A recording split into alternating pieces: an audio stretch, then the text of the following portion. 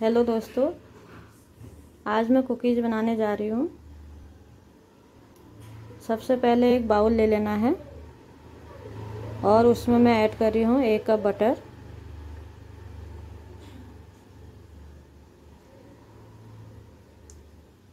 और बटर में ऐड करूँगी पीसी हुई चीनी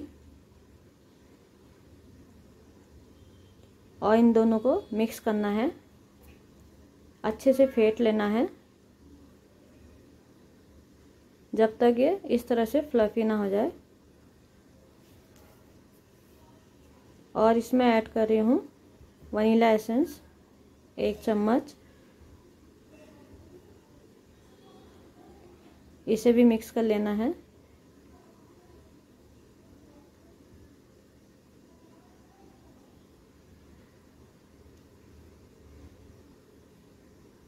और अब मैं इसमें ऐड कर रही हूँ दो अंडे।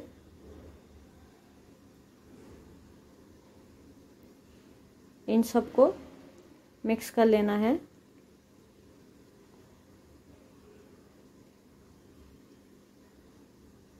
इसको मिक्स करने के लिए थोड़ा सा स्पीड में हाथ चलाना है। अब मैं ऐड कर रही हूँ इसमें एक कप मैदा।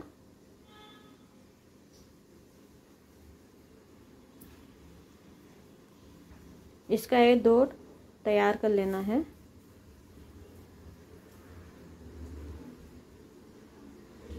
और मैं बना रही हूँ वॉलनट का। अब मैं कुकीज़ बना लेती हूँ।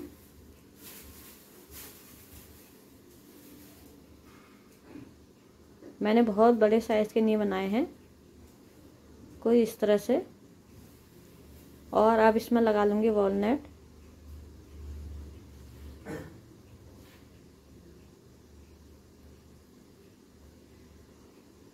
और एक एक करके सारे कुकीज़ बना लूँगी।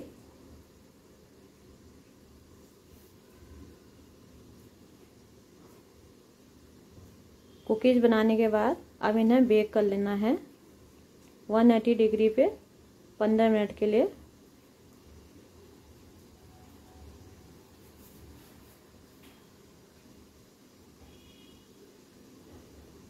एक बार चेक करना है। अगर नहीं बेक हुए तो पाँच मिनट के लिए और रख सकते हैं।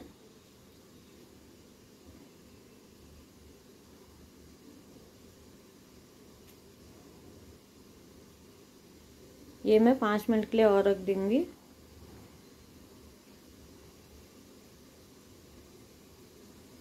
ये हमारे कुकीज़ बेक हो गए हैं।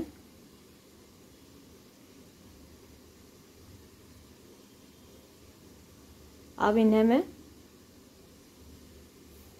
दस पंद्रह मिनट के लिए ऐसे रेस्ट पे रख दूँगी। और सेम प्रोसेस है। मैं दूसरे कुकीज़ बना रही हूँ। और उसमें लगाने हैं बादाम।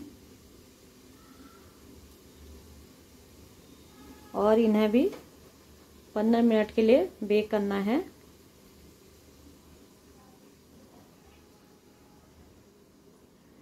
बेक होने के बाद इन्हें एकदम से डब्बे में नहीं रखना है। आधे घंटे के लिए छोड़ना है, उसके बाद ये क्रिस्पी हो जाएँगे। तो इन्हें टाइट कंटेनर में रखने हैं। ये देखिए, बहुत ही टेस्टी बने हैं। तो दोस्तों, आप भी ट्राई करना।